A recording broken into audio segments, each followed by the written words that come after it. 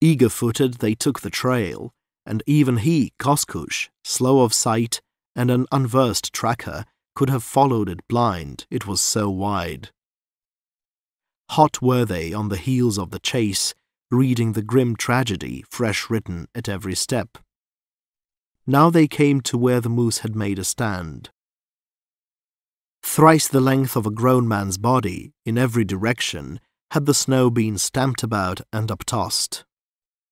In the midst were the deep impressions of the splay-hoofed game, and all about, everywhere, were the lighter footmarks of the wolves. Some, while their brothers harried the kill, had lain to one side and rested. The full-stretched impress of their bodies in the snow was as perfect as though made the moment before. One wolf had been caught in a wild lunge of the maddened victim and trampled to death. A few bones, well picked, bore witness. Again they ceased the uplift of their snowshoes at a second stand.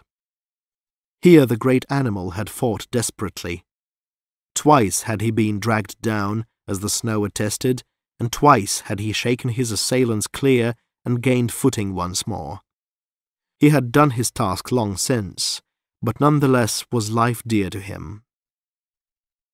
Zingha said it was a strange thing, a moose once down to get free again. But this one certainly had. The shaman would see signs and wonders in this when they told him. And yet again, they came to where the moose had made to mount the bank and gain the timber.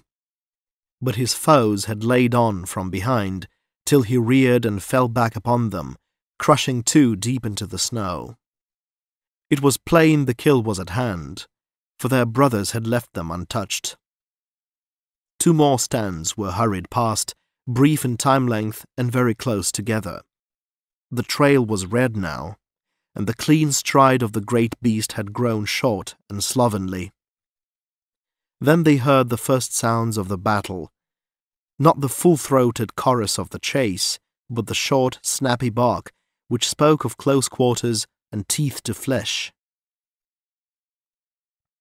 Crawling up the wind, Zingha bellied through the snow, and with him crept he, Koskoosh, who was to be chief of the tribesmen in the years to come. Together they shoved aside the under branches of a young spruce and peered forth. It was the end they saw. The picture, like all of youth's impressions, was still strong with him, and his dim eyes watched the end played out as vividly as in that far-off time.